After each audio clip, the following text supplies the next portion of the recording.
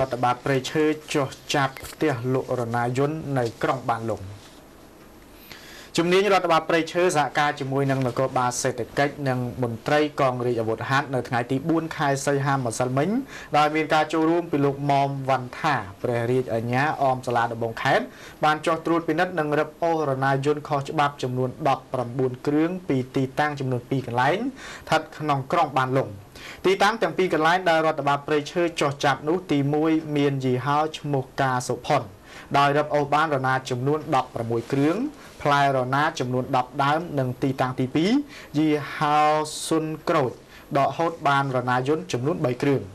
លោកហុងវ៉ាន់រៀងនាយផ្នែកសង្កាត់រដ្ឋបាលព្រៃឈើលំផាត់ទទួលបន្ទុក3ស្រុកបានមានប្រសាសន៍ថាប្រតិបត្តិការចោះចាប់រណាយន្តពីកន្លែងលក់នៅក្នុងទីក្រុងបានលុងកាលពីព្រឹកមិញនេះគឺធ្វើឡើងទៅតាមបទបញ្ជា02របស់រាជរដ្ឋាភិបាលកម្ពុជា